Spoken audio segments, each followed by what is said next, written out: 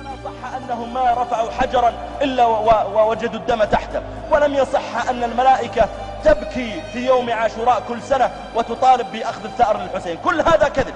ولا يصح والعجب ممن يصدق مثل ذلك. ويريد أن يزر يزرع الفرقة والشقاق بين المسلمين بمثل حدثوني حدثني أحدهم عن ولده. وهو شيخ كبير. وقد استشهد ولده. حدثني عن ولده. قال خرج ولدي يوما فأصيب. فرجع إلينا. وجعلنا نحاول أن نعالج إصابته. يقول فإذا بمجموعة من الزبانية يدخلون علينا ويضربون الولد يقول وكانوا يكررون من الخيالة البيض الذين معكم. من الرجال البيض الذين كانوا يركبون خيولا بيضا أين هم؟ اعترف منهم يقول يا شيخ والله لا كان معهم خيول ولا رجال بيض. إلا أن تكون ملائكة من السماء.